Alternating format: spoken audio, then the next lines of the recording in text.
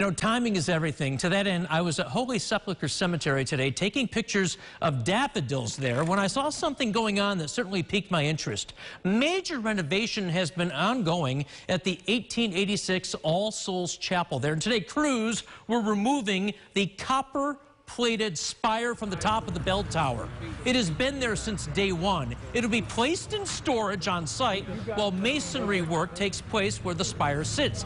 That process should take, what, three, four months' time. When that's done, they will move the 800-pound spire back to the top of the tower. The chapel is the centerpiece of this 1871 cemetery, a beautifully serene place, especially in the spring. As for those daffodil captures that I was there to do initially, you'll see those tomorrow here at this time. Right? Well, they got tens of thousands of them, but this yeah. here was yeah. cool, and the reverence they had for that spire was impressive. They were methodical in how they took it down. And like I said, that was impressive.